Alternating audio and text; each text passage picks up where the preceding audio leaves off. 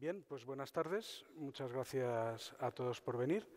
Eh, seguimos con la celebración del 25 aniversario de la construcción de este magnífico edificio que nos acoge, eh, que hemos empezado esta mañana con la presentación de la exposición que hay ahí fuera, que quien no la haya visto luego, pues tiene ocasión de darse una vuelta por esos paneles tan chulos que nos han hecho. Y continuamos, digo, con eh, esta mesa redonda, por llamarlo de alguna manera, estos diálogos que vamos a tener hoy, mañana y pasado. Y empezamos hoy con el motivo real de la celebración, que es la propia biblioteca, con una conversación sobre la biblioteca como, pues no sé cómo llamarlo, presente, eh, pasado, presente y futuro, eh, su concepción, su uso y, iba a decir su abuso, ¿no? y su futuro previsible, eh, etcétera. Eh, bueno, pues para esta conversación contamos con cinco... Bueno, yo soy Joaquín Sevilla, director de Área de Cultura y Divulgación de la Universidad Pública de Navarra y hago de moderador y presentador del acto. Y para esa conversación tenemos a los cinco ponentes que me acompañan en este estupendo escenario, que son Javier Saiz, eh, que participó directamente en la construcción del edificio junto con su padre, el arquitecto principal responsable, digamos, de, del diseño del campus completo de la Universidad Pública de Navarra, eh, Carmen Echeverría, actual directora de la biblioteca, dos usuarios intensivos, uno más intensivo que otro por la situación profesional, Ángel García Sanz, historiador y profesor de la universidad, que ha sido un usuario intensivo a lo largo de toda su, carrera en la universidad, y Garachi eh, Aizcorbe, estudiante de Derecho, que nos da otro punto de vista del uso también interesante. Y finalmente, Arancha Mariscal, directora de la Biblioteca del Centro Tabacalera, que nos puede hablar de eh, bibliotecas concebidas más recientemente y, por lo tanto, la reflexión sobre para qué es una biblioteca desde un punto de vista diferente. Eh, eh, lo de presentarlos a todos era para que luego sea más fluido el que vayan hablando cada uno un ratito y haya una conversación entre ellos y con vosotros, que como esto es muy grande parece que no somos muchos, pero, ah, pero bien elegidos, ¿no? los mejores, siempre. Entonces, pues nada, sin más rollo, eh, le paso la palabra a Javier y empezamos. Bueno, pues, bueno, pues mm, muchas gracias por, haberme invitado a este acto, que la verdad es que eh, está muy bien estar en una obra que, se ha hecho entre muchísima gente y en la que también has participado y, y, que pasan 25 años y ves que está mejor y que, eh, o sea, que está muy bien cuidada por el propietario, o sea, como se le ve como cariño al propietario y, claro, eh, y luego, eh, o sea, eh, alguna vez me pasó viendo con un taxista por unas viviendas que había en la M30 que dijo, estamos en un atasco ahí parados, y dijo, estas viviendas las he hecho yo. Claro, yo que había estado ahí, me quedé un poco perplejo y luego hablando con él me dice, sí, sí, yo estoy aquí poniendo los ladrillos. Entonces te das cuenta que las obras de arquitectura las hace todo el mundo. O sea, que, es verdad que las había hecho él. Eh, y, aquí está, muchas veces dice, el gobierno de Navarra dice, hemos hecho esta obra. Y es verdad. o sea, el gobierno de Navarra ha hecho esta obra. El director de yo he hecho esta biblioteca. Entonces... Eh, que eh, efectivamente esa Suiza interviene aquí gracias a, un encargo de la Comunidad de Navarra y ayudado por mucha gente. Esta mañana hablamos del equipo de aparejadores de aquí de Pamplona, que se llama el equipo Única, que, que lo hizo francamente bien, y, luego hablamos también de la primera UTE, que era San, Sanco Ceolaza, que era un empresario de aquí que como le costaba eh, tantos disgustos, pues lo mandaron al Mediterráneo porque se estaba enloqueciendo con, con el hormigón. O sea que fue una proeza a que ha venido mucha gente para, para conseguir que esto quede así. Los paneles eran de Movinor, también de la fábrica de aquí y todo. O sea que eh, las obras de arquitectura son de, de todos, que eso es lo bonito. O sea, tiene que haber alguien que dirija, porque si no, o sea, viendo, viendo, uy, voy a mirar un momento, viendo un día un ensayo de Barenboim de estos de la Cruz Roja gratuitos, vi que, si no hay un director puede sonar como una banda de pueblo, una cosa que tiene que sonar para la escala de Milán. O sea que el papel de, los diversos directores, que tiene que haber director de biblioteca, tiene que haber director de todo. O sea que, por un lado, todo el mundo interviene y luego tiene que haber alguien que dirija. Y eso, como en una barca o en una... Entonces, mm, bueno, me, lo ha sugerido un poco porque has dicho, bueno, Javier participó, bueno, pues estoy pensando ahora mismo que, por ejemplo, le preguntaron al arquitecto Barragán, ¿es usted de la Iglesia Católica? Y dijo, sí, yo soy de los pecadores. Entonces, efectivamente, estaba ahí metido también como todo, ¿no? lógicamente.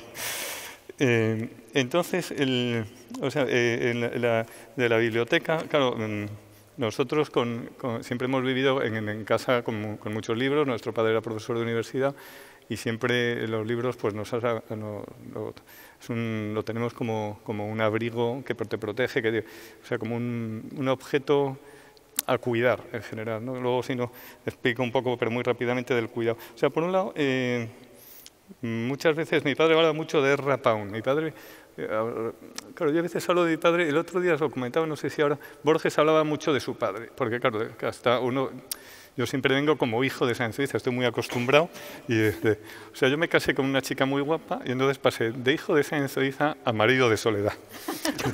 entonces, que era más cómodo ir de marido, casi que dijo, porque era, recibía menos presión. y, pero claro, luego viendo, Borges debía tener un padre que escribía muy bien, entonces me refugio en Borges porque Borges decía que le gustaba, que sí, que su padre era muy bueno y lo que tú quieras, pero que su padre le abrió las, admiraciones a, Shakespeare, a Cervantes. Sí, sí, dice, mi padre yo le admiro mucho, pero admiro más sus admiraciones. En ese aspecto, o sea, para todo, o sea, Sáenz ya tuvo mucho peso en la Universidad de Madrid, pero también tanto a los hijos como a los alumnos nos abrió el camino a Wright, a Le Corbusier, a entender a Culjas, o sea que y entonces, mm, yo, te, o sea, y uno, o sea, yo he tenido la suerte, según va pasando la vida, que cada vez, ahora paso ya, de, mi mujer ya no es tan guapa porque es más mayor, vuelvo al hijo de, pero ya más tranquilo porque ya comparo a, a con otros arquitectos y ya lo veo que era mejor y entonces ya me siento como más orgulloso. Antes estaba más preocupado. Pero digo, no, no, yo es que he tenido mucha suerte porque mi padre era muy listo. Eh, yo no he llegado a lo suyo, pero bueno, he tenido la suerte de tener un padre listo. Bueno, entonces él decía que, a él no le gustaba mucho la crítica, bueno, yo me voy a, callar ya, que entonces, o sea, él, hablaba, era, escribía poco, con lo cual va en contra un poco de los libros y está como el saber oral que pertenece a la universidad, el saber socrático, ¿no? era, y frente a, lo escrito, ¿no? Y entonces yo creo que el propio Steiner, la gente grande te dice que es oral, que la transmisión es oral, que ahora son las charlas TED, o sea que que puede ser. O sea que ahora casi está teniendo entre la gente joven, dice, oye, yo lo oigo. O sea, y además te vas a, dice, le veo, veo cómo habla, cómo es, y prefiero una charla TED tipo de Sócrates que lo que escriba. Entonces, pero luego por otro lado hay los que te dicen, no, si ya lo has escrito, no lo vas a poder decir mejor que escrito. Ya, cállate para siempre, porque con el esfuerzo que has hecho de poner el escrito. Pero bueno, eh, el caso es que hoy era más oral, ¿no?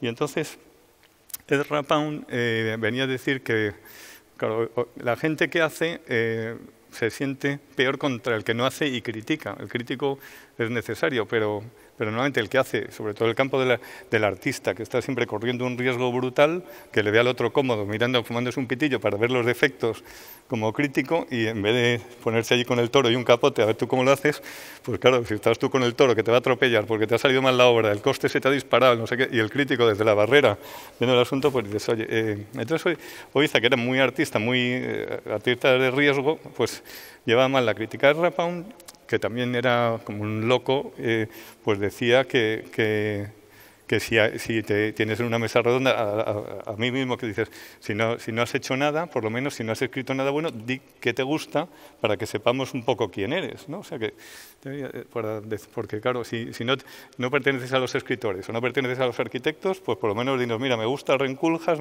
por lo menos que sepamos, pues mira, si le gusta Renculjas o cosas así. ¿no? no lo digo porque, o sea, mi padre, eh, claro, tenía, lo digo relacionando con la palabra, con la biblioteca, o sea, por ejemplo, los, tenía muchos autores que le gustaban, que, por ejemplo, de Walt Whitman, o sea, desde la poesía hasta lo más científico. ¿no? Y, por ejemplo, habría que hablar de Walt Whitman, García Lorca, Roland Barthes, Jane Joyce, Camilo José Cela, Gastón Bachelard, o sea que eh, gente muy de libros, cada uno como imágenes para la arquitectura. O sea que, por ejemplo, de Camilo José Cela siempre hablaba de la, su definición de la casa. O sea que es interesante cómo convertía la palabra en imagen. O sea, eh, como, como, de una definición de Cela o más. Y luego eh, hacía una distinción también entre estos autores, que si no luego eh, entre lo, épico y lo lírico. A él le gustaba más la épica, donde el autor desaparece y en eso metía a James Joyce en el retrato del artista adolescente que dice que el autor debe desaparecer detrás de la obra y frente a, a la lírica. O sea, en este aspecto podríamos decir que la Universidad de Navarra sería más épica porque el autor es más está más desaparecido. Es una arquitectura como industrializada, seriada, esto se puede alargar, es decir, queremos una biblioteca más grande, crece, queremos enchufar otro departamento y ya hay una una escritura que cualquiera puede hacer. Dice, hay un panel con discos de 420, ya el autor aquí ya podría no interesar porque ha desaparecido en la obra. En, un western siempre está el bueno, el, guapo, la guapa, no sé qué, y el, bueno siempre gana, da igual, sabemos el final y lo importante es cómo se narra, pero no se sabe bien de quién es el western.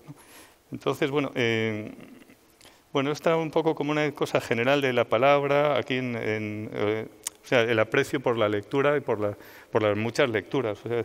y luego, mm, o sea, por, ejemplo, un día hablando, que, comentaba Moneo, una cosa que sobre mi padre decía, mira, le pregunté a tu padre y era muy bonito, luego he estado dándole vueltas y, la verdad es que estaba muy bien. Decía, ¿cómo ordinarías la biblioteca? Y dice, por la fecha en que me lo he comprado, sería el orden. claro, es como disparatado, pero dice, no, porque es cómo me he construido como persona. ¿no? Decir, decía, un orden sería el de las... Es que es un orden bonito, claro. entonces, pero claro, entonces según te vas cambiando de casa, te vas viendo que la casa Odisea, la primera casa tenía una pequeña biblioteca, cada vez más, cada vez más. ¿no? Bueno, entonces eso es interesante lo de... Y luego de los libros que le gustaban, por hablar un poco de los libros, siempre tenía dos, a ser posible dos. A veces tenía tres, pero si, si en la biblioteca hay dos, de un determinado libro era de los que le gustaban.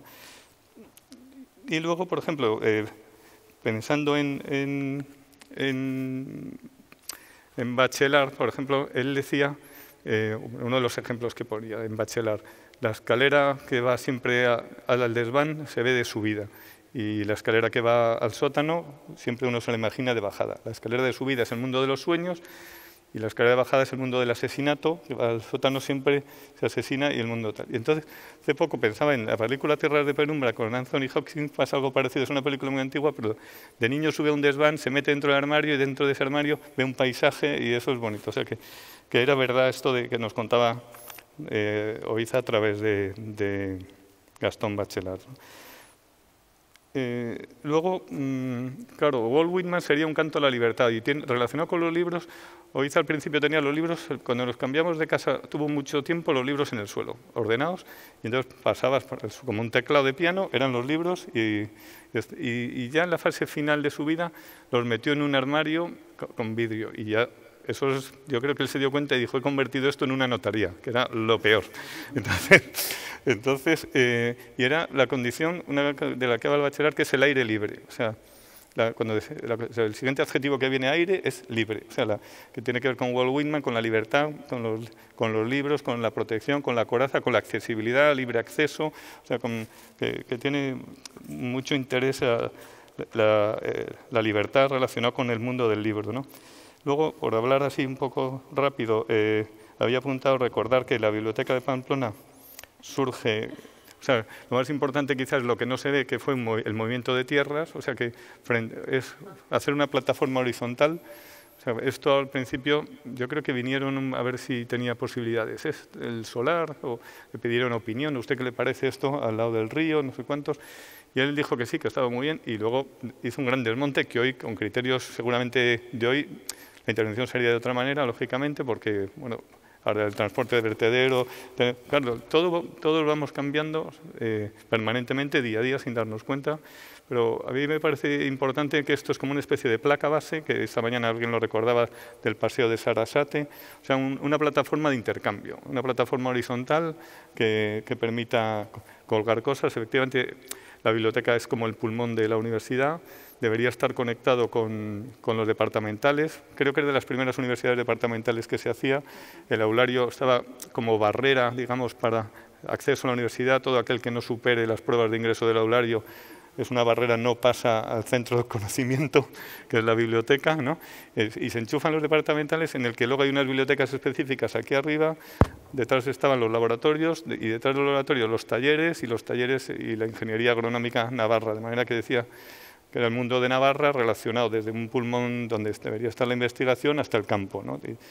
que, es una pena que no estén tan, que no, que no se hayan construido las pasarelas porque tendría más sentido la unión. O sea, tenía unas pasarelas ahí y otras que iban de borde a borde para los días de lluvia, desde el aulario, llegar hasta el otro lado, como unas cumbreras a dos aguas ahí grandes que tampoco estaría mal el día de mañana hacerlas. Yo creo que de aquí, dentro de 25 años, que peticiones del oyente, yo haría las pasarelas y... Están tomando nota. Sí, sí, están apuntando. Y, y, ya yo creo que a lo mejor acabar con, eh, con aquí y ya está. ¿no? Sí. casi, casi sí. Mejor. pues muchas gracias y pasamos a Carmen. Bueno, que, después de esta disertación casi, casi podía seguir eh, Javier eh, comentando y hablando, ¿no? porque yo voy a ser mucho más breve que tú, espero, en, lo que voy a contar. Bueno, eh, yo he traído una presentación que son todo fotografías de la biblioteca, solo con el objetivo de, narrar un poco y lo que hemos estado comentando en, la comida o estos días con, la gente que me ha ayudado un poco a, a preparar lo que íbamos a hablar hoy. Eh, y bueno, y quería traeros pues, fotos de la biblioteca, que espero que van pasando. Entonces, por, por saber dónde estábamos en el año 1994, cuando se hizo esta biblioteca o se inauguró esta biblioteca, pues la principal bueno, la biblioteca era centralizada eh, frente a otras universidades donde había bibliotecas departamentales o bibliotecas de facultad. Esta biblioteca desde el origen era una biblioteca central, solamente había una, Eh, y, nuestra principal preocupación entonces era eh, dar servicios para que los usuarios leyeran, tuvieran lectura, préstamo, préstamo bibliotecario, todos esos servicios que a todos nos suenan, eh, a todos los que estéis aquí presentes, que sois casi todos bibliotecarios, y porque teníamos que leer revistas y libros fundamentalmente, no había otra cosa. Claro, como salen en los paneles, como están en los paneles de la exposición física que hay allí, eh, Internet y la red lo revolucionó todo y lo cambió todo. Pero hasta entonces los servicios que dábamos eran de lectura en sala y así se estudiaba y se daba, de préstamo, de préstamo interbibliotecario. Bueno, estoy poniendo, porque casi todas las fotos que hemos elegido son aquellas que, que hay mm, personas, porque las bibliotecas, aparte de ser un edificio, eh, se han hecho para que se utilicen y que los usuarios estén en ellas y los bibliotecarios trabajando en ellas. Eh, entonces, después de cuando ya llega la revolución digital y llega Internet, pues las bibliotecas se transforman en, en dar servicios de apoyo al aprendizaje y a la investigación. Y hemos intentado ir transformando los espacios que tenemos en la biblioteca. Pues, ¿qué tenemos? Bueno, aquí tenemos, ya tenemos estas fotos que se nos han quedado viejas porque ya no tenemos estos ordenadores que, los quitamos el año pasado, que tampoco hace tanto. Pero eh, se ha ido transformando en otros equipos, en otra equipación. Y aquí está el préstamo. Y los, lo que a partir de, Bolonia y de las nuevas necesidades eh, para los usuarios, se empezaron a, a poner las salas de trabajo en grupo, en los pisos, y además se han ido transformando otros espacios, yo creo que no estoy pasando bien. Eh, se han ido poniendo otros espacios que si eh, justo estamos en el salón de lectura que más se ha transformado de la biblioteca. Eh, hemos hecho bueno, las salas de trabajo en grupo, las salas de descanso, las salas de ordenadores y además eh, la sala nueva de lectura que hemos puesto aquí en la biblioteca. Yo creo que se ven más, eh, mejor las fotografías que lo que se ven en los espacios.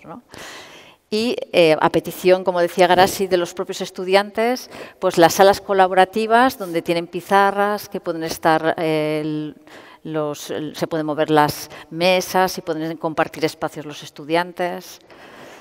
Las salas de formación para los investigadores y para los, para los estudiantes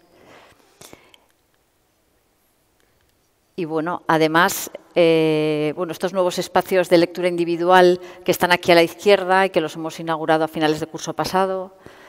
Y esperemos que esta transformación de espacios continúe en el futuro, porque la, biblioteca, comentábamos antes con Arancha, pues eh, no para de ser dinámica y siempre está en continua evolución.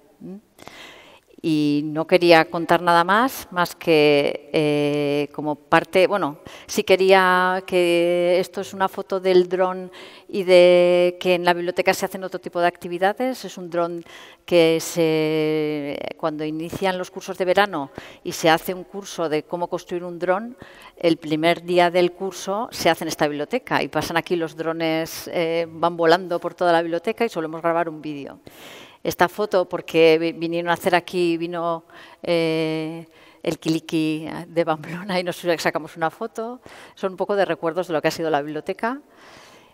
Y finalmente, a ver si paso, eh, he traído una foto porque siempre estamos hablando de, que este edificio cumple 25 años, pero es también el servicio de biblioteca el que cumple 25 años. Esta es la biblioteca de Tudela que se inauguró posteriormente y como también está aquí Ciar, la bibliotecaria de Ciencias de la Salud, he traído una foto de Ciencias de la Salud que también forma parte de lo que es el servicio de la biblioteca y no solo la biblioteca de Rosadía. Y finalmente he traído pues, eh, un homenaje a todas las personas de, que hemos pasado por esta biblioteca que para homenajear, eh, para, bueno, para conmemorar este 25 aniversario hicimos una comida en el mes de mayo y nos juntamos todos y salieron toda esta relación de personas que nos sorprendió porque eran más de 200 las que hemos pasado por esta biblioteca. Y como en algún momento Ángel me dijo, bueno, yo en un momento citaré, pues bueno, no hace falta que cites porque aquí estamos todos. Gracias. Pues muchas gracias, Carmen, y pasamos de el continente, el contenido y las personas que le han dado vida a los usuarios que han disfrutado y quizá padecido. Ahora nos dirán eh, pues, todo esto. Muchas gracias. Bueno, en primer lugar quiero agradecer a los organizadores de este acto que se hayan atrevido a invitarme. Cuando, en fin, acepté la propuesta al colgar el teléfono, dije aceptado y digo, ¿ahora qué digo yo? Y me vino a la cabeza una frase que se atribuye a un gran general, había obtenido un éxito militar y se lamentó amargamente de que no se le ocurría una frase para la historia. Yo, no, no quiero decir una frase para la historia, pero, en fin. Eh, el 25 aniversario de cualquier institución, de cualquier entidad, tiene mucho que ver, aunque parezca extraño, con el quehacer profesional de los historiadores. El historiador está acostumbrado, por así decir, a celebrar continuamente eh, bicentenarios, centenarios, cincuentenarios. En este sentido, el historiador, quiera o no, contribuye a modelar, por así decir, el imaginario de las gentes. Si, recordamos aquí, hace siete años, la conquista de Navarra fue la madre de la madre de la madre de todas las batallas, ¿no? una explosión de publicaciones. No sé qué nos deparará dentro de dos años, el 2021. ¿eh? sin embargo, hay que decir que efectivamente algunos sucesos se, seleccionan y cunden mucho y otros nada en absoluto. Eh, en España el descubrimiento del 98 dio lugar a una luz de publicaciones, congresos, etcétera, impresionantes. El año pasado se cumplieron 150 años de la Revolución de Septiembre y nadie se hizo eco. ¿no? Entonces, en este contexto, a mí me parece importante esta celebración por una razón, porque resume, es un ejemplo a mi modo de ver, de, la rapidez de los tiempos. ¿no? En 25 años ha habido un cambio extraordinario en, todo y, como es lógico, la biblioteca. ¿no? Voy a dar, en fin, para saber dónde estamos ahora, alguna pincelada mínima de, histórica, diríamos, ya que es mi oficio. en 1898, esto para que sepa la gente joven, en Pamplona pues había una biblioteca prácticamente pública que era la del instituto. ¿eh? Esta mañana, mirando un poquito, he visto que un periódico, el, Heraldo de Navarra, decía que había mucha asistencia y pedía ¿eh? que se instalase luz eléctrica para que, en fin, pudiese ir la gente las tardes de invierno, ¿eh? porque si no se irían al café. No sé qué habría pasado, pero 25 años más tarde, un autor pamplonés poco conocido, escribió aquello de Pamplona, ciudad bravía, 200 tabernas y la biblioteca vacía. No sé si le habrían hecho mucho caso. El panorama igual no era tan negativo. Ya en los 30 la República, ayer se hacía eco, Joseba de Ceolaza recogía el dato que en Navarra se crearon 81 bibliotecas del año 31 al 33 y el 34 nueve más, o sea, 90 bibliotecas. Para que os hagamos una idea de los parámetros en los que se movían, eran bibliotecas que tenían 100 volúmenes. ¿eh? Y era una señora biblioteca.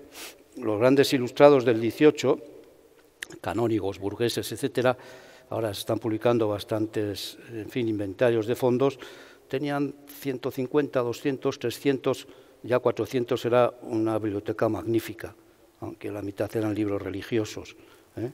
Entonces, eh, en fin, visto estos antecedentes de esta Pamplona ciudad de tercera categoría a la actualidad, donde, no voy a citar el número de, de bibliotecas, incluso universitarias, pues voy a tratar un poco de la nuestra, lo que ha supuesto para mí desde el punto de vista del usuario.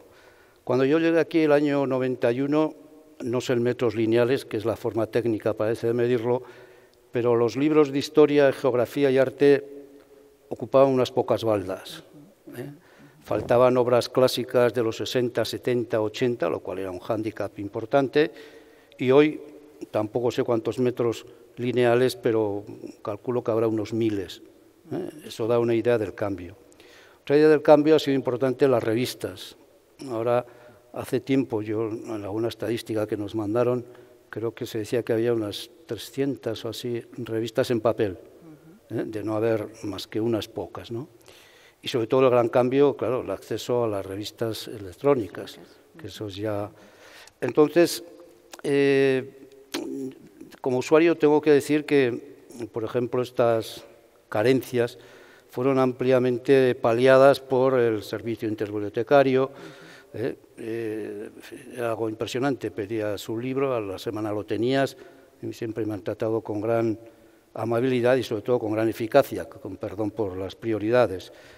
Y lo mismo tengo que decir de la sección del libro antiguo, luego, en fin, hay unos elementos que pueden ser, mm, pertenecer al libro antiguo y también al fondo general, que para mí han sido claves, ¿no? para, entendernos. En España, a finales del siglo XIX, se publicaban aproximadamente 800 periódicos diarios. Yo hace 30, 30, 35 años ya, pues me iba a la Hemeroteca Municipal de Madrid, que tiene un fondo fantástico, o a la Biblioteca Nacional de Madrid, y en una semana pues podía consultar un periódico por seis meses. Ahora, con la digitalización, tienes estos 800 periódicos y más, unos 1.200, lo que te cuesta teclear lo que buscas. ¿no? O sea, es un giro copernicano. ¿Eh? Y lo mismo con, con, prensa histórica, que tiene otro fondo de prensa, o con Gálica, etcétera. Yo creo que al principio había que ir a la biblioteca, ahora, claro, esto da una idea también del cambio, ahora lo puedes consultar en, en, en casa. ¿no? Luego, para mí como usuario, en fin, ha sido importante todas las compras que se han hecho porque antes había una cantidad, luego con la crisis se paró, ¿no? Pero yo creo que el fondo antiguo ya tiene un fondo, en fin, relativamente importante, ¿no? Eh, sobre todo, claro, el fondo se nutre de lo que se compra en general y lo que pide cada uno. Yo he utilizado y ahora estoy utilizando, pues, unas cosas que son unos elementos son básicos para mí, pues el boletín oficial de la provincia de Navarra desde que nació en 1834 eso es clave, gracias a que lo cedió el Ayuntamiento de Burguete. El censo electoral del 32, aunque lamentablemente no se pudo comprar más que mil tomos, el tomo primero que cubre los pueblos desde la A hasta la L, hasta Lumbier, el segundo no estaba a la venta. El censo de Pamplona del año 1872, de 1901. Eh, entonces, que parecía, no, el último grito, pero era lo que se utilizaba, el microfilm, pues compramos el, Sol, el Socialista, Democracia, la voz de Navarra, el pensamiento navarro, etcétera, etcétera, algo muy importante. Eh, las actas de las Cortes, que me acuerde ahora, antes que había que ir allí con los CDs, etcétera, ahora ya.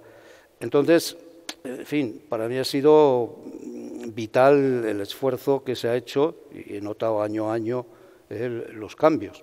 Por citar, para que no sea todo, en fin, excelso y grandilocuente, pues claro, el problema de los microfilms es una tecnología que se ha quedado obsoleta, los lectores han quedado obsoletos, los lectores están deshechos y no hay manera de, porque la directora de la biblioteca me decía es que no hay manera de comprar en el mercado lectores ya Entonces, bueno, este es fin, una, de las deficiencias difíciles de, arreglar. ¿no? Eh, tengo que decir, por otro lado, que al menos a mí, en todas las instancias de la biblioteca, es decir, préstamo interbibliotecario, yo que nací analfabeto digital y todavía no recibo el bautismo, pues eh, el acceso a las bases de datos, eh, en fin, eso, te buscaban el último artículo de la última revista, eh, siempre, en fin, atentos, amables, eficaces, ¿no? Y ya para no, fin, hablar mucho, pues últimamente, por ejemplo, la revista que tenemos en el departamento, que se ha hecho digital, que indica otro, fin, es otro elemento del cambio, pues ahora nos atienden magníficamente a la hora de colgar, que parece, sí, parece una tontería, pero si alguien tiene que hacerlo, lo hacen muy bien, luego te dan información que a mí me parece maravilloso, pues, en fin, todas las descargas que tienen todos los artículos en todo el mundo mundial. Entonces, yo iba a decir, incluso aquí, como he dicho antes, una serie de nombres, pero seguro que me voy a dejar alguno. Y entonces prefiero hacer, en fin, mostrar mi agradecimiento porque realmente se, fin, lo merecen. Para mí ya tiene una larga trayectoria uno, he estado en comisión de investigación, de publicaciones, de archivo, de doctorado y un poquito conoce la casa, ¿no? Entonces la biblioteca es el Santa Santorum y yo creo que todo funciona bien esta casa, pero para mí ha sido vital. Si, sin ella no, no podría haber hecho en fin, las cosas que he hecho bien o mal, ¿no? Hace ya un trabajo que publiqué, creo que fue el 98, allí sí que ponía nombres, pero bueno, vamos a dejar los nombres, ya indica que ya el año 98 estaba agradecido, hace 20 años. ¿no? Y como ya no tendré ocasión de hacerlo más, pues reitero de nuevo, para mí ha sido vital, nada más. Gracias. Bueno, pues yo me pasó un poco lo mismo que a él, que cuando me dijeron aquí de venir, yo dije, pues a ver qué les cuento yo a la gente que venga. Y entonces, pues antes, hablando un poco, eh, nos comentaba que, bueno, yo he recordado una lección de historia del arte que tuvimos en bachiller, de cuando estuvimos estudiando eh, arquitectos navarros, precisamente eh, estudiamos lo que es la, Universidad de Navarra, la arquitectura que, supuso y, y principalmente la biblioteca. Y es que nos contaron que, la universidad representa una especie de cuerpo humano en el que el rectorado es la cabeza, la biblioteca es el órgano y los departamentos de las diferentes facultades y escuelas pues son un poco los brazos que tiene este humano. Y entonces la biblioteca como, cuerpo es el que alberga el corazón y es precisamente el corazón lo que yo creo que, que es la base de la vida universitaria, porque Aquí sí que es verdad que todos los alumnos tenemos las clases en el aulario, sí que es, o sea, nos juntamos pues los de ingenierías, con los de magisterio, con los de derecho, pero realmente donde se da esa, esa mezcla y esa unión entre todas las carreras es aquí en la biblioteca, en el que es un ambiente un poco más relajado porque ya no estás en clase, no tienes que estar pendiente de lo que te dice el profesor y tal, y es un, un, ambiente en el que te puedes juntar pues con gente de todas las carreras, venir aquí a estudiar, entonces más que una biblioteca como tal, como se tenía pensada pues hace igual 25 años, en un sitio silencioso, sobrio y así, que es lo que se ha comentado, pues ahora mismo lo que es la biblioteca es un espacio pues lleno de vida que al final lo que hace es relacionar a todos los estudiantes universitarios que componemos esta universidad.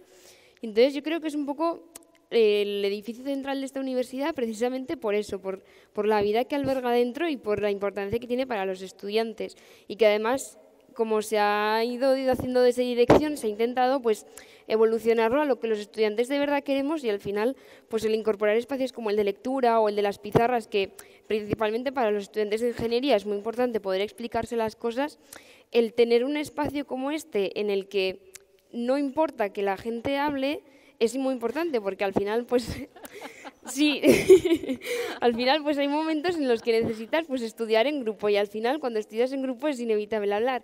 Y entonces esta sala sí, que se ha quedado así un poco como estudio en grupo, pero sin embargo, por ejemplo, las salas de arriba, las galerías, sí que ahí el que habla, vamos, le, lanzan miradas que, podría acabar muerto. Sin embargo, la otra sala también, que es una sala también de que los estudiantes mismos, o sea, nosotros nos marcamos nuestros terrenos, pues en esta sala sabemos que se puede hablar sin problema, pero que sin embargo las galerías de arriba o en la otra es un silencio absoluto. Y entonces, en ese sentido, yo creo que la biblioteca es, es, muy importante para todos nosotros pues por todas estas cosas.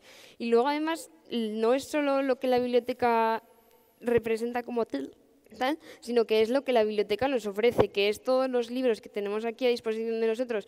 Yo, por ejemplo, que estudio Derecho, para mí es súper importante tener todos los manuales que nos ofrecen, porque si no, cada curso académico pues tendría que gastarme otros 200 euros, 300 euros más, aparte de la matrícula, en lo que son los manuales. Entonces nos viene muy bien pues todas estas cosas, pues yo que sé, que el profesor siempre te lo explica muy bien en clase, pero para completar apuntes o para cosas que no has terminado de entender, volver a leerlas o sí, todos estos libros de consulta están aquí muy bien. Luego, pues todos los libros para investigaciones y así que tienen las galerías superiores, pues a la hora de elaborar el TFG o de cuando te mandan a hacer un trabajo, poder investigar más allá, aparte de todo el Internet que tenemos, que en Internet siempre aparece la, todo, lo que buscas prácticamente, pero a veces también el tenerlo en, en físico y en papel, pues ayuda bastante y, y hay veces pues que igual en la pantalla te desconcentras más con otras cosas o lo que sea y sin embargo en el papel pues como que lo interiorizas más. Y luego, pues aparte de todos estos servicios, también el, el club de lectura, por ejemplo, que está en, en, la biblioteca, que yo creo que es un ser, mm, más que un servicio, es una actividad cultural que, que, se conoce poco, pero bueno, yo que he sido participante en años anteriores, la verdad es que es una experiencia muy bonita porque nos juntamos arriba en una, en una sala y pues somos al final un grupo reducido porque tampoco puedes hacer un club de lectura muy grande, pero pues somos eso, 20, 25 personas personas que hemos leído un libro y al final intercambiamos ideas, alguna vez ha venido también algún autor y así, se suele unir el, decano de la Facultad de Jurídicas y al final pues es un, momento de pasarlo en la biblioteca en el que no solo vienes a estudiar, sino que también vienes a hacer otras actividades que te enriquecen. Entonces yo en ese sentido creo que la biblioteca es muy importante por eso, por todo lo que nos ofrece a los estudiantes y todo lo que nos, nos da para, para luego la vida en, cuando sigamos hacia adelante. Al final, la parte de las luces y sombras está quedando solo las luces. Yo creo que la impresión del escenario, si había algo malo, nos está diciendo. Pero bueno, lo dejamos para el coloquio después. Vamos con la última intervención. el presenter. Antes de nada, agradeceros la invitación y también a todos los que estáis asistiendo. Eh, bueno, eh, no creo que vaya a aportar gran cosa a este debate, porque, entre otras cosas, creo que sí las bibliotecas universitarias han sido eh, las que se han ido adaptando y resolviendo problemas más rápidamente en general, ¿no? un poco a lo que tú decías, las necesidades que, tenéis. Bolonia también ha obligado mucho, todo el tema que estuvo tan potente hace unos años con, con lo de los CRAI y demás. Entonces yo creo que sí que es cierto que las bibliotecas universitarias lleváis un ritmo que quizás otros, otros sectores de bibliotecas, otros ámbitos eh, lo plantean de otra manera o va, funcionan otro ritmo. Eh, bien, eh, mm, se me preguntó un poco de, o se me planteó un poco hablar del futuro. No creo que yo sea capaz de hablar del futuro, no tengo ni, idea, ojalá supiera, pero bueno, eh, he preparado una pequeña presentación con unas claves que se, van a ser muchas repetidas de lo que hemos hablado aquí, pero que quizás también nos puedan servir luego para seguir charlando y conversando, ¿no? Eh, bien, cuando la sociedad preguntamos qué es una biblioteca, enseguida hablan de lugar, espacio, muchos libros, eh, se guardan libros, se recogen cosas, un edificio, la relación con el espacio y teniendo en cuenta que estábamos hablando también del edificio que cumple 25 años, bueno, eh, es enseguida lo que, lo que verbalizamos o pensamos, ¿no? Biblioteca igual a un espacio en el que ocurren cosas y demás. ¿Para qué? Para aprender, hemos hablado aquí, para aprender, para investigar. Normalmente el silencio nos acompaña en ese trabajo, es un lugar de información, son los, los términos que, que, normalmente nos vienen a todos a la, a la cabeza, aunque viendo aquí que hay mucha gente de la profesión y muchos usuarios, sabemos que es algo más que todo eso, ¿no? Eh, bien, la biblioteca como algo estático no nos sirve. Hemos visto que ha habido una evolución también en estos 25 años. Ni la biblioteca desde que existen las bibliotecas no, es algo estático, es algo que ha ido evolucionando. Y creería comentaros cinco claves. Por un lado, el concepto que, estuvo bastante más fuerte, o se habló más o teníamos más dudas hace cuestión de 10, 12 años sobre la gestión de los espacios vacíos, qué es, lo que iba a ocurrir con todo este que irrumpe Internet, eh, los documentos, eh, la cantidad de información digital y, y demás, ¿qué pasa? Que los espacios vacíos que la biblioteca como espacio de encuentro que ya hemos comentado, el tercer espacio, la gobernanza compartida, yo creo que es uno de los retos que tenemos en las bibliotecas. Tampoco sé cómo se hace, pero yo es un tema que me interesa mucho. Y también todo el tema de los laboratorios bibliotecarios en, el, y en este ámbito, especialmente las bibliotecas universitarias, o hay eh, proyectos muy interesantes dentro de bibliotecas universitarias. Eh, la gestión de espacios vacíos eh, nos preocupaba mucho este tema, qué es lo que va a ocurrir si cada vez eh, tenemos más información digital o um, hay que expurgar ¿Y qué va a pasar? no necesitamos grandes edificios. Yo recuerdo cuando estábamos negociando el espacio de la biblioteca donde trabajo, era ¿para qué necesitáis tantos metros cuadrados si cada vez va a haber menos documentos? ¿no? Esa era, y decíamos justo lo contrario, necesitamos mucho espacio porque va a ser ahí donde se van a encontrar las personas. ¿no? Ya cambiar ese tema, esa idea de este concepto de biblioteca lleno de, documentos que no encontramos y que muchas veces nos ocurre en nuestras casas, a pasar a una biblioteca donde el espacio es un servicio y luego decidimos qué vamos a hacer en ese espacio, qué es lo que va a ocurrir en ese espacio. ¿no? En bibliotecas universitarias es donde se empezó todo el tema de la, sobre todo no solo en bibliotecas universitarias, pero sí quizá más potentemente todo el tema de los espacios de creación, los espacios maker, donde vaciaron eh, pisos enteros de estanterías, los llevaron otra vez al depósito con lo que nos había costado el acceso libre, otra vez todos los depósitos para conseguir espacios donde investigar, donde crear, dónde encontrarse, dónde juntarse y aprender, dónde transmitir conocimiento. Lo que hablabas antes de la transmisión oral, ¿no? Yo creo que uno de los claves, y, hablando a otros niveles también, eh, eh, y con las nuevas tecnologías, sobre todo de conversación que tenemos o de relación social, está todo el concepto de la tercera eh, generación de la transmisión oral, ¿no? la fuerza de la oralidad también ahí. Bueno, es otro debate, pero que bueno, lo podíamos incluir en estos espacios de encuentro y vamos a hacer entre todos y cada uno aporta lo que sabe.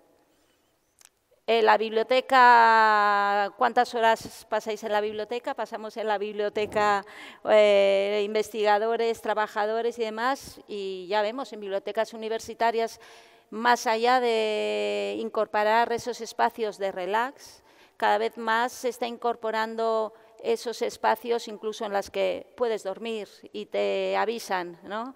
Eh, necesito, estoy de exámenes, necesito reposarme un rato, eh, voy a la sala de, reposo de donde puedo dormir y me despierta el personal a tal hora. Eh, lo estamos viendo en las bibliotecas la importancia de la biblioteca, del espacio de encuentro, lo que vosotros decías. Nos encontramos aquí estudiantes que estamos eh, en diferentes formaciones, pero aquí es este es nuestro punto de encuentro. Antes hablábamos, el mismo ritmo de Bolonia hace que cada vez más las cafeterías no sean ese punto de encuentro que igual en nuestra generación sí era el punto de encuentro, la partida de mus, el billar, y bueno, si eso ya iríamos a la biblioteca más tarde o ya iríamos a clase, pero ese era el punto de encuentro, el ritmo de trabajo trabajo de hoy día sí que hace que la biblioteca sea ese punto de encuentro y no solo en las bibliotecas universitarias, sino el concepto del espacio que ofrece la biblioteca, cualquier biblioteca, como ese referente de poder estar, donde me voy a encontrar con personas en una sociedad que cada vez estamos más aislados y donde uno de nuestros dramas es la soledad. Eh, en biblioteca pública, en mi, ¿cuántas veces nos ocurre encontrarnos con usuarios que te dicen eh, no, no, si yo internet lo tengo en casa, incluso el periódico lo puedo subir, pero eh, ahí estoy solo, mientras que si vengo aquí sé que voy a, estar con gente. punto de encuentro. La biblioteca ya no es ese lugar único para estudiar y para investigar, es para pasártelo bien, para poder participar en actividades, para poder crearlas, para poder... El concepto del tercer lugar. Hoy mismo en Ihuetel, no sé si ellos habrá llegado a los profesionales, pero otra vez venía esa referencia, ¿no? Ese lugar que más allá de la casa o del trabajo, del estudio, es el lugar que quieres hacerte de lo tuyo, que te encuentras cómodo, que te hace feliz. Eh, esa tendencia a que las bibliotecas sean ese lugar para las personas, tanto sean universitarias como sean públicas, como sean especializadas. Ese lugar agradable el que todos podemos recurrir, lo hacemos nuestro y no pasa nada si muevo la silla de lugar o si prefiero poner la mesa más ahí, ¿no? como lo haría en casa. Y el concepto de laboratorios bibliotecarios, tenemos el, ejemplo de Harvard, pero hay otros muchos más, donde la biblioteca ya eh, participan diferentes colectivos e instituciones y se va desarrollando bien, desde, partiendo desde los propios contenidos de la biblioteca, eh, otro desarrollo, otra ampliación de, de la información, como de otro tipo de proyectos donde nos juntamos en la biblioteca para poder desarrollarlos ya dentro de una planificación más estratégica. Y un tema que sí ya os digo, me preocupa, me interesa, es que, eh, cómo podemos hacer, cómo podemos desarrollar una gobernanza compartida de los espacios y servicios de la biblioteca eh, en esta realidad que estamos trabajando y tenemos claro que la biblioteca la construimos entre todos, que no estamos los profesionales y viene el usuario, sino que es una relación entre todos lo que va a hacer que vayamos a tener unas bibliotecas mejores y con mejores servicios día a día. Es el tema que me queda pendiente, que me gustaría lanzar también. Yo creo que si realmente queremos crear un diálogo entre eh, la biblioteca y sus usuarios, eh, ya no ya hablamos de diálogo, ya no estamos hablando, creamos servicios y esto es lo que está en la carta y lo que sí, sí, y lo que no, no ya vamos, hemos evolucionado porque existe ese diálogo, existe ese diálogo. Eh, mi duda es, mm, el siguiente paso a partir de ese diálogo y de ese desarrollo es cómo pensamos entre todos el llevar adelante el servicio en la biblioteca, que no, nunca sea, no siga siendo únicamente vertical, aunque siempre va a haber necesidad de un director de orquesta, pero cómo introducimos esas otras voces que también participen y se responsabilicen del desarrollo de la biblioteca. Y para finalizar, os, voy a poner, ah, no sé, si Miguel me puede lanzar el vídeo. Es un vídeo que lo hemos creado nosotros en la biblioteca, que nos, que nos gusta sobre todo porque creemos que sí nos transmite esa idea de que la biblioteca no lo hacemos solo la institución, sino que lo hacemos todos y la importancia de, los servicios en la biblioteca, del espacio de los servicios en la biblioteca. Welcome in the house of fun. Welcome in the house of fun. Welcome in the house of fun. Welcome in the house of fun. Welcome in the house of fun. Welcome in the house of fun. Oh, welcome in the house of fun. Welcome in the house of fun. You do the fly.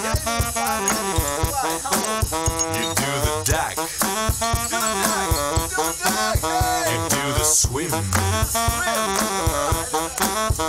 do the twist.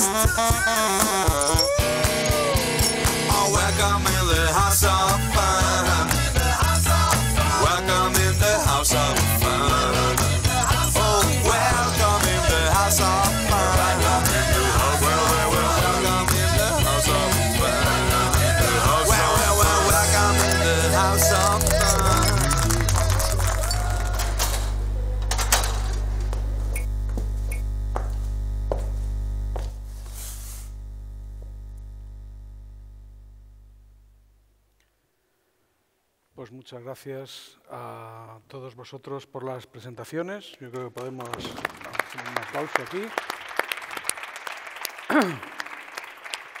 Muchas gracias también por repartiros el tiempo tan maravillosamente, porque entre todos hemos clavado la, previsión.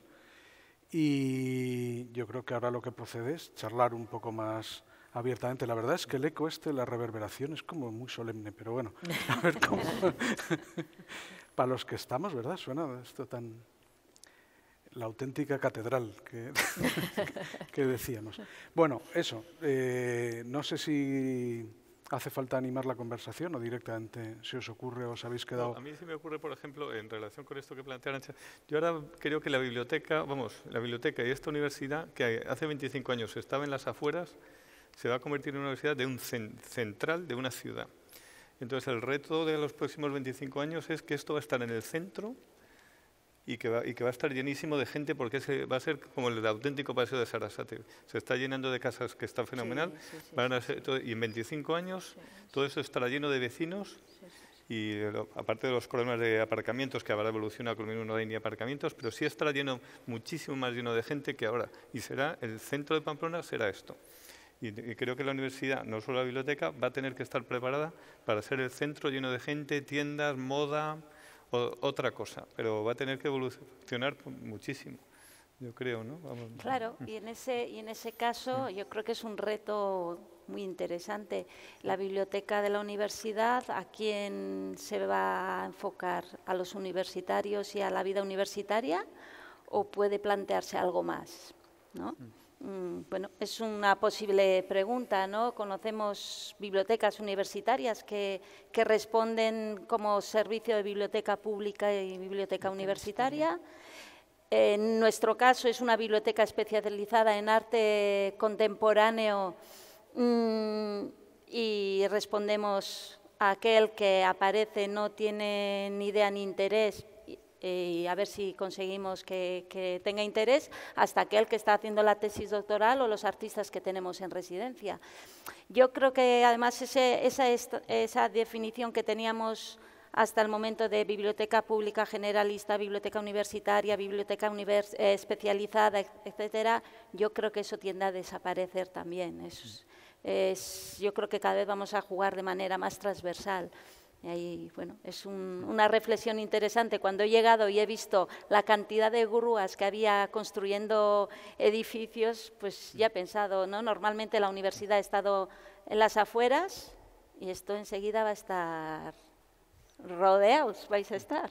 ¿no? lo, que, pasa es que bueno, esta biblioteca no está cerrada a nadie, la biblioteca está abierta a toda la ciudadanía. o sea, no somos, una, somos una biblioteca universitaria y los servicios son para los universitarios, pero está abierta a todo el mundo. O sea, viene cualquier ciudadano de Pamplona o de cualquier lado, porque no es, funciona en ese sentido como lugar de estudio. Ahora nunca hemos, bueno, años pasados sí que pedíamos control de acceso, pero ahora no tenemos ningún control de acceso. Entonces, el uso del espacio es para todo para todo el mundo que quiera venir. Sí que es verdad que bueno, la proyección del futuro, el futuro a muchos años, veremos a ver a quién damos servicio. Desde luego ahora nuestra preocupación y ocupación es dar servicio a los, a los estudiantes y investigadores y docentes de aquí. Y lo que, bueno, la reflexión que tú dices y que eso reflexionamos muchas veces y hablamos, claro, cuando a veces nos posicionamos en unas conversaciones de, de reuniones, yo siempre digo que tenemos que liberar espacio aquí, porque claro, todavía la estantería y el libro está ocupando mucho demasiado. Entonces tenemos que empezar a liberar el espacio para utilizar ese espacio en el futuro para otras cuestiones que se empiecen a desarrollar en la universidad. Ya se va a empezar a hablar de makerspace, de a ver cómo construimos o dónde se construye en la universidad y bueno, pues la biblioteca será un sitio donde igual sí o no se pueda desarrollar eh, eh, lo que venga en el futuro. ¿no? No sé lo, cómo lo veis los estudiantes, que sois los que más habéis pedido ese pues tipo de espacios. Lo que, lo que vemos ahora mismo, de cuando se creó, se ha evolucionado una cosa, pues dentro de 25 años a saber qué espacios necesitarán los estudiantes, porque también a saber qué carreras habrá, porque ahora mismo pues todo esto que se está hablando de, de las nuevas profesiones que se van a crear, porque pues no sé si leí el otro día en una noticia que el, el 20% de los estudiantes, de los, los, niños que hay ahora en primaria van a trabajar de mayores en profesiones que ni siquiera existen ahora. Entonces, claro, el plantear eso de pues ¿qué, ¿qué, es lo que va a venir? Pues de repente hay un grado nuevo que requiere que en la biblioteca haya un espacio que ahora ni nos imaginamos. Y entonces, pero al final eso será un poco, poco a poco ir viendo y estar siempre pues abiertos a cambios para ir a mejor siempre. Y, una cuestión que también hemos hablado, que cuando, cuando tú en Tabacalera tenés estos espacios de creación, eh, bueno, todo esto que nos has presentado, ¿qué perfil bibliotecario tenéis? O sea, ¿qué, la profesión bibliotecaria cuál es? Porque, bueno, tendréis catalogadores, bueno, lo que, lo que tenemos en, todas las bibliotecas, pero luego, ¿cómo dais, eh, cómo facilitáis que todo eso suceda y suceda bien con los usuarios? Sí, la, reflexión que hicimos nosotros un poco al pensar qué, equipo queríamos eh, tener para poder dar estos servicios, eh, y ya es algo que viene de, antes en la profesión. Cada vez estábamos hablando en la profesión más de equipos multidisciplinares o si no de, personas eh, o de bibliotecarios que tenían que saber de todo. Y yo digo, yo siempre decía, no, yo soy bibliotecaria y yo sé de bibliotecas, pero yo no sé de comunicación. Y resulta que teníamos que estar eh, pensando en cómo diseñar las páginas web y demás.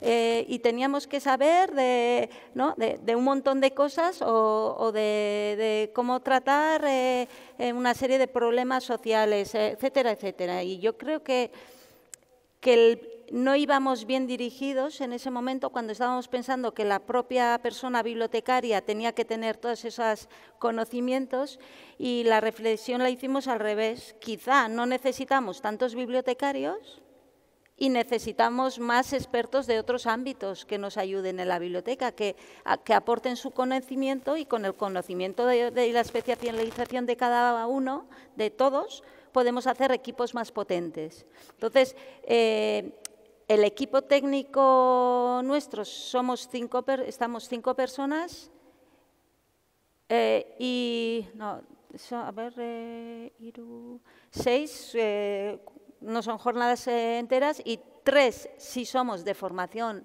en biblioteconomía y tres no, por ejemplo. ¿No? Entonces ya, claro, en nuestro caso era una biblioteca especializada en arte y, arte contemporáneo, necesitábamos gente que, que, realmente supiera de arte contemporáneo. La parte de biblioteconomía no nos interesaba para ellos, por ejemplo.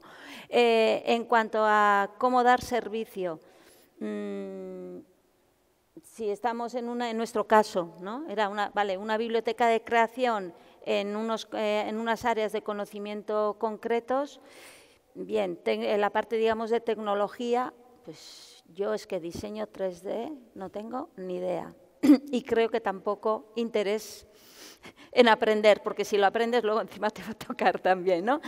Decía, pues necesitamos gente que sea experta en nuevas tecnologías, necesitamos profesionales que sean los expertos en audiovisuales y cine, eh, necesitamos expertos en pensamiento contemporáneo y en eh, arte contemporáneo. Entonces, más que nada, eh, reflexionamos de esa manera para poder tener el equipo, formar el equipo. Y claro, necesitamos también catalogadores, entonces tenemos catalogadores. Entonces era pensar qué es lo que iba a ocurrir en la biblioteca. Finalmente, quienes mm, hacen la función de auxiliar de biblioteca, digamos, en una biblioteca, quienes están en sala, dando el servicio en sala, son las personas que son expertas en, en los ámbitos temáticos de la biblioteca. Entonces, las tareas técnicas los hacen los técnicos catalogadores, el equipo técnico lo llevamos adelante todos los servicios, pero la atención en sala lo va a dar el experto en audiovisual, el experto en tecnología, el experto en artes plásticas, etcétera, etcétera. Lo, hicimos de aquella manera. Entonces, yo creo que fue cómodo a ese nivel tuvimos que formarlos en cuanto a conceptos de biblioteconomía que no tenían, como es lógico, pero a la vez estamos aprendiendo muchísimo de ellos, de manera que cuando estamos pensando en la evolución de la biblioteca, tenemos un conocimiento en el equipo que de otra manera no teníamos. Sí, pero porque empezasteis de cero, claro, tenéis que... Eso es una ventaja, ¿eh? Bueno, sí, un inconveniente. Tener 25 años en la mochila o partir de cero, ya digo que no es lo mismo. No es lo mismo. Cualquier cambio, sabemos, en cualquier eh, profesión, lugar, eh, proyecto, cuesta muchísimo. Pero nuestra profesión es siempre cambiante. O sea, ah, que quienes empezamos a trabajar, bueno, hay muchas personas aquí que han empezaron a trabajar hace 25 o 30 años, no tiene nada que ver lo que trabajaron entonces con ahora. Lo que antes decíamos, lo que nos costó en, nuestra, en aquella época el libre acceso, cuando ahora estamos planteándonos que hay una serie de contenidos que tienen que pasar al depósito, ¿no? Es mm. como... Mm. Claro, y aquello fue todo un, logro en los 90, no, en los 80 y sí. Tengo más años de lo que creo, pero no, es lo que, es lo que ocurre, ¿no?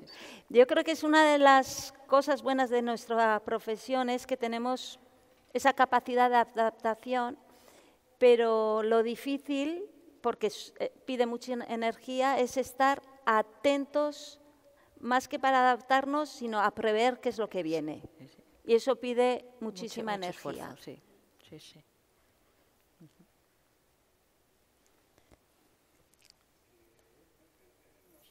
Tengo que hacer algo. Es que se ha estropeado esto y me han dado esto, pero ah. todavía no me lo han abierto. Ahora, eh, no sé si queréis también entre el público aprovechar este plantel para hacer preguntas.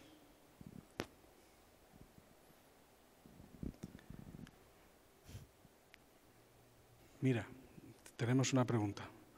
Eh, ¿Le acercáis? Te acercan un micrófono. Gracias.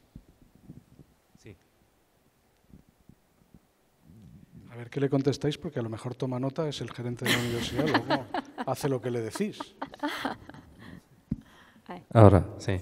Hola, buenas tardes. Muchas gracias. Un auténtico placer escucharos a, a todos y a todas y cada uno de vosotros. Eh, bueno, Carmen, de haber sabido no cambiábamos las mesas este año. ¿Cómo, perdona? Que de haber sabido no cambiábamos las mesas este año. Sí, sí, sí. Ahora tienes que cambiar las sillas, ya te lo digo. pero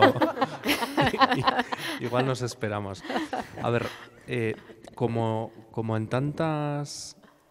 Eh, como en tantas disciplinas, yo creo que estamos asomados a un abismo un poco mareante, ¿no? Porque vemos que hay un cambio cada vez más rápido, cada vez más acelerado, eh, con, la intervención y eh, con, la visión de tabacalera, pues yo creo que se acentúa aún más, ¿no? Es decir, eh, casi te mareas, ¿no? Es decir, pues esto eh, vamos a tratar de hacer, a, cambiar esto y, en tres años vamos a tener que hacer otra cosa, porque seguramente cambiará a, otra cosa. ¿no?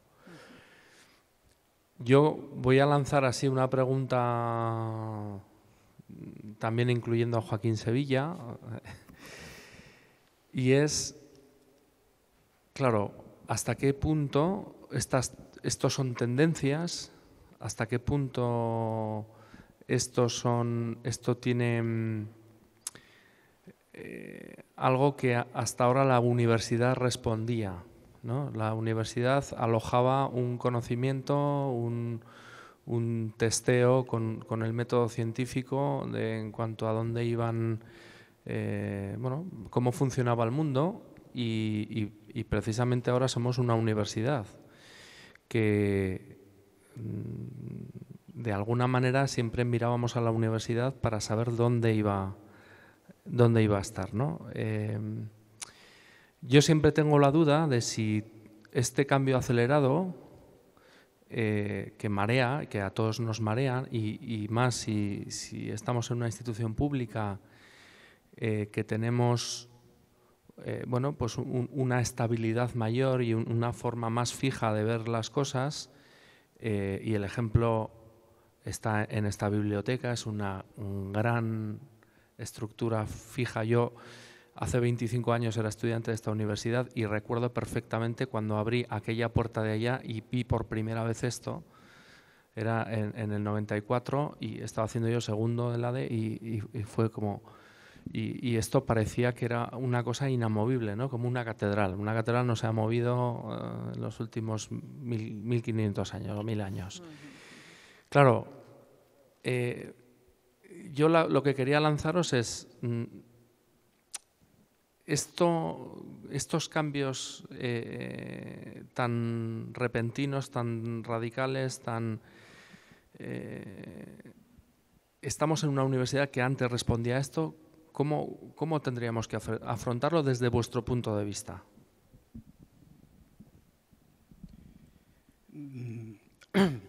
Reformulo la pregunta como chiste. si, me, perdonas.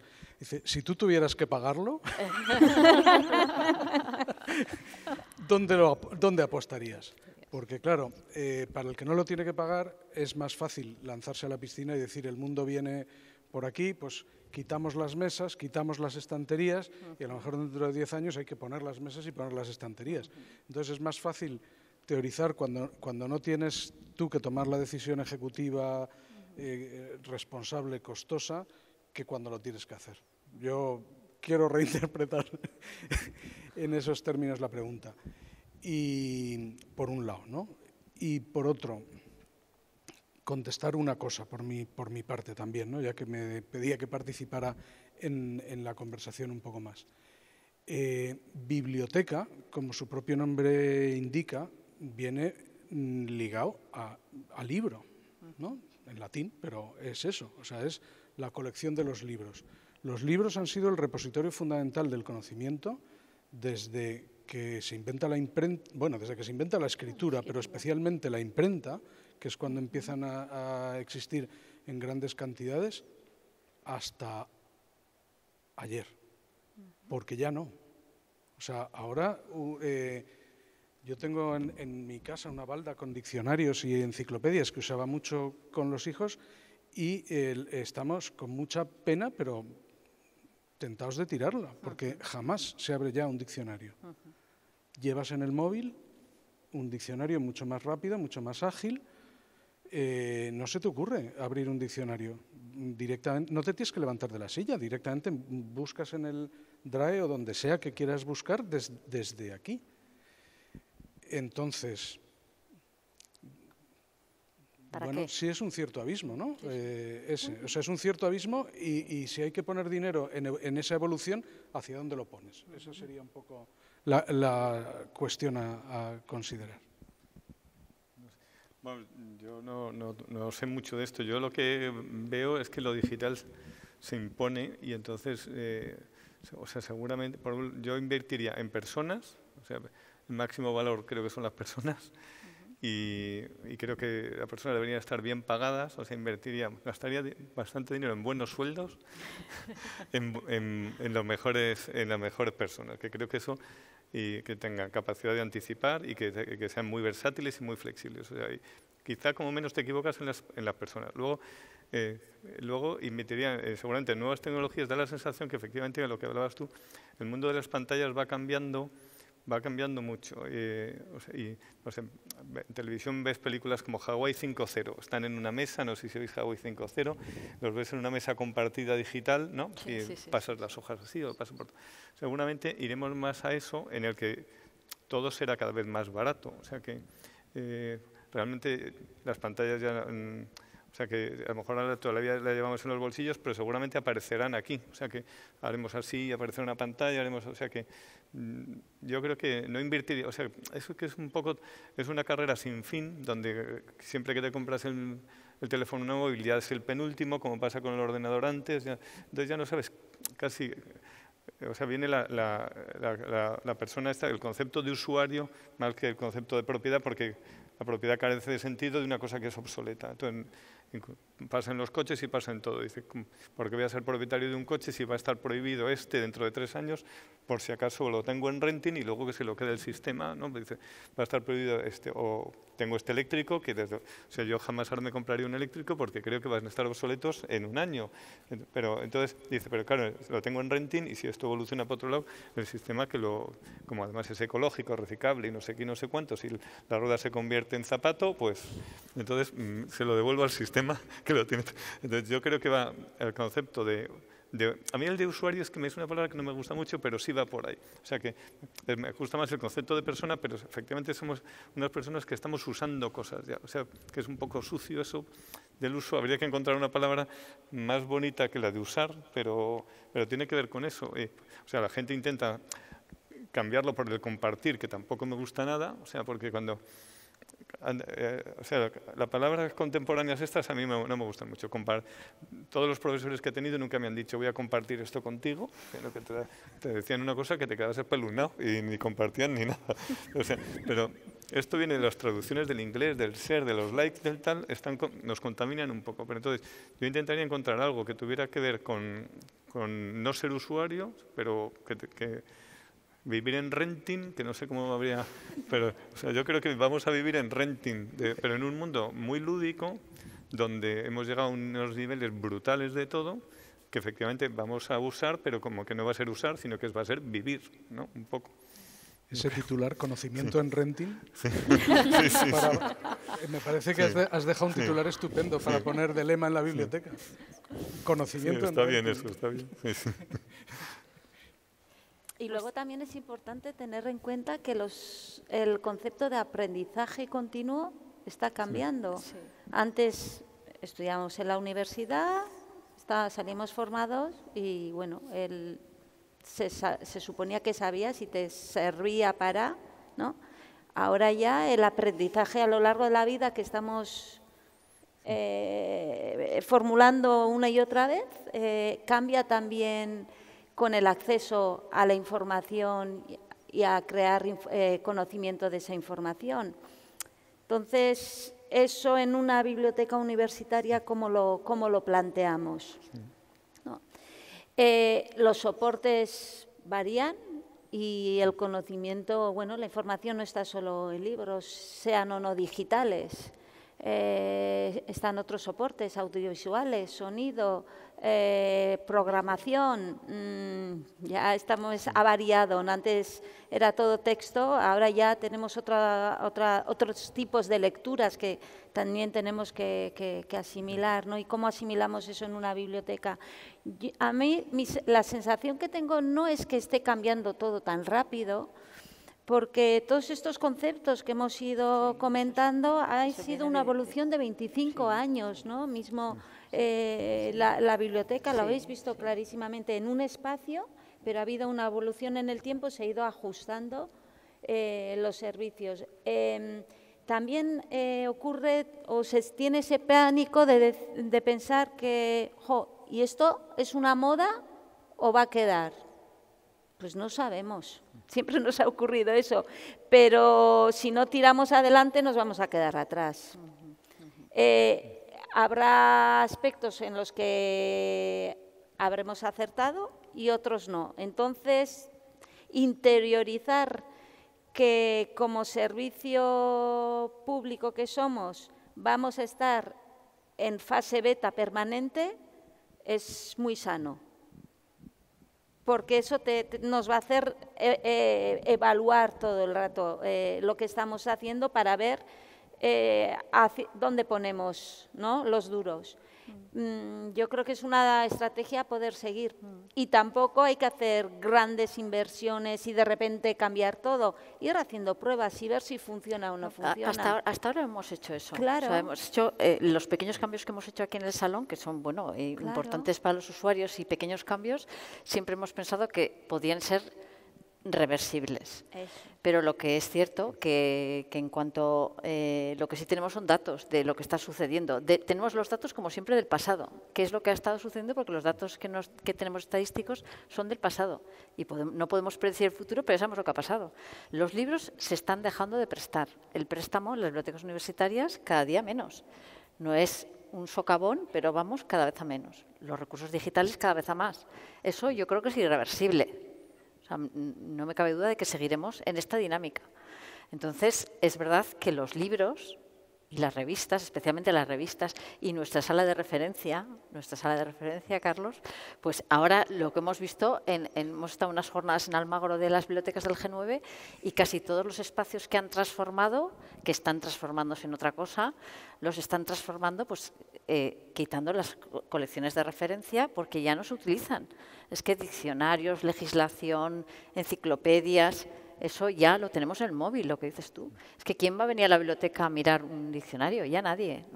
Entonces, bueno, eh, pues igual sin unas grandes inversiones ni decidir hacer la revolución total en esta biblioteca, pero sí que hay que ir poco a poco convirtiendo esto en otra realidad.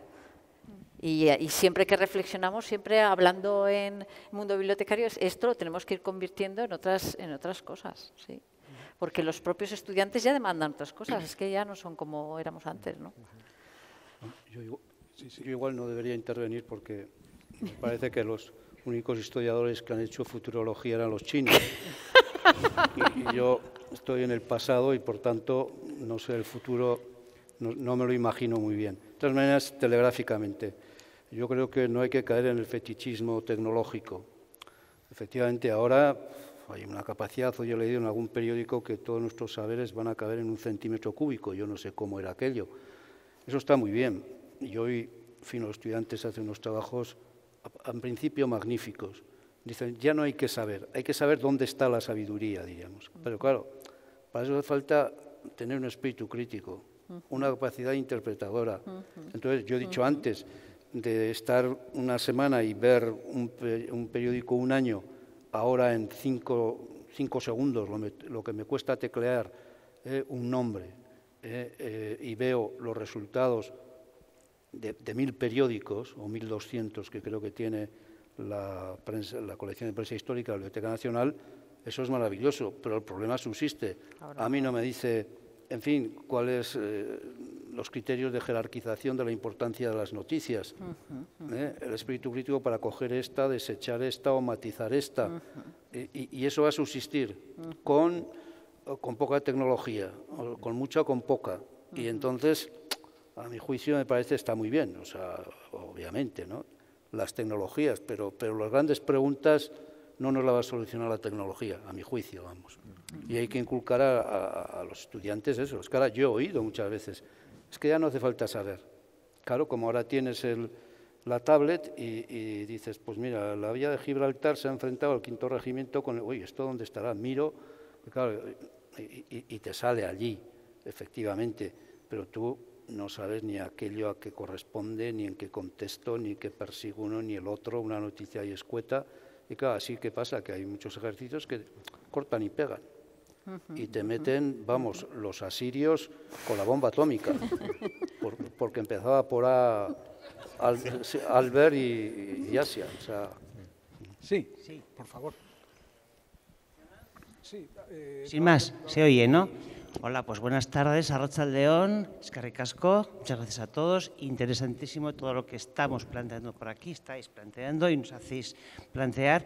Yo me alineo con el comentario de, de Ángel en el sentido que quería apuntarlo antes de empezar a hablar tú, que efectivamente yo que soy del Pleistoceno y yo, estoy, yo fui a una universidad donde estaba cada, todo papel, evidentemente, y cada tema o cada, cada asignatura tenía su bibliografía, que era el saber estaba condensado en esa bibliografía seleccionada, recomendada y demás. Entonces, claro, vas viendo la evolución, que es un poco, y ahí teníamos bueno, unos criterios, digamos, profesionales para decir, pues, pues en historia, que, no sé qué época, pues los autores más nombrados o lo que sea para hacer crítica. Entonces, lo que apuntabas del sentido crítico, ya que estamos en la universidad, parece fundamental una línea de trabajo que ya, aparte de los espacios, que ya inició en nuestra biblioteca, que es creo que le llamáis así, igual es un palabra, pero alfabetización informacional. es decir, cómo moverse en ese mundo claro, Otlet Paul Otlet, uno de los inventores de la documentación, documentalista francés, creo que de los años 20, pues eso, quería tener todo organizado y poder acceder a todo, y se inventó pues cantidad de cosas.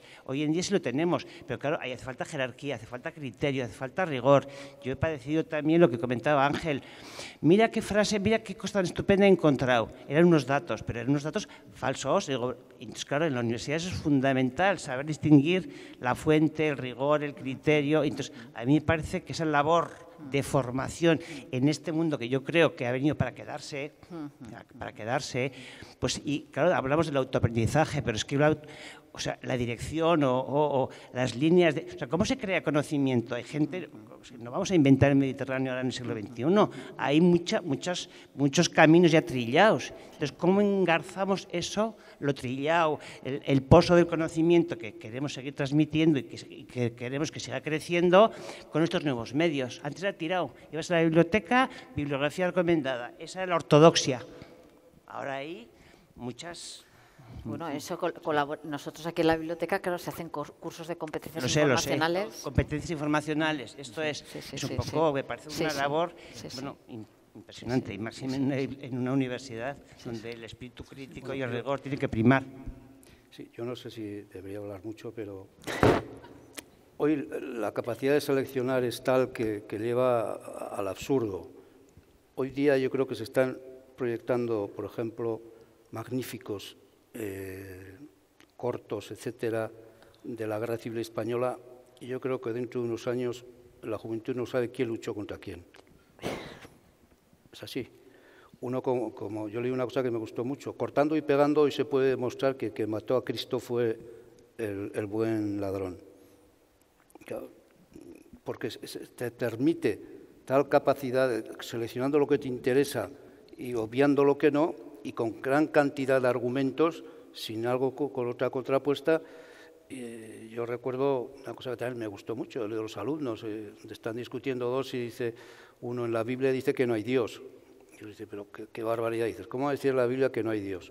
Según la cara que ponen, en fin, me extiendo un poco más, claro, van a la Biblia y aquí te ponen una página, no hay Dios. Y claro, se quedan ahí y luego sigue, dicen los impíos. claro, entonces, eh, de esto podríamos citar, y, hoy, claro, con una apariencia científica, etcétera, con 20.000 citas, y, y se llega, bueno, en fin, estoy hablando, como se ve, me viene una idea, me viene otra. Hace unos años hizo famoso un gallego que se inventó un personaje, un personaje gallego, claro, un hombre muy, muy listo, por así decir, con todas las citas que pudo recabar en Internet, etcétera, planteó un, ilustrado gallego que había estado en no sé qué universidades, había sido un hombre emprendedor, y aquello pasó, era un personaje absolutamente inventado. Pero claro, tenía formalmente todas las características de un trabajo académico. Pie de nota, colecta de Burgensis, 1956, quinto, cita, tal, todo absolutamente inventado, desde el nombre hasta el final. Y nadie se percató, hasta que lo dijo él, claro, tuvo que descubrirlo porque te vaya ¿eh? Entonces, hoy efectivamente la, capacidad de recabar información es infinita.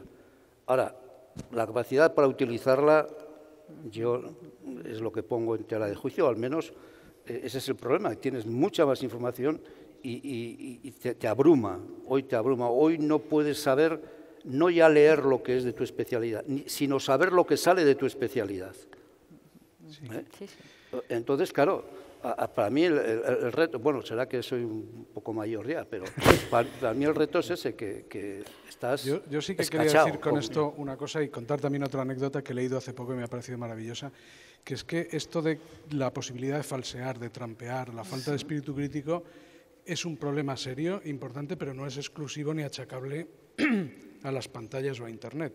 Ah, y el ejemplo es los, a principios de siglo, con los mapas que se hacían los cartógrafos, sobre todo en las eh, investigaciones polares y expediciones polares y demás, metían alguna rata, o sea, vamos, alguna rata, algo inventado como prueba para que no les copiaran, o sea, porque luego, para dirimir luego eh, cuestiones de copyright.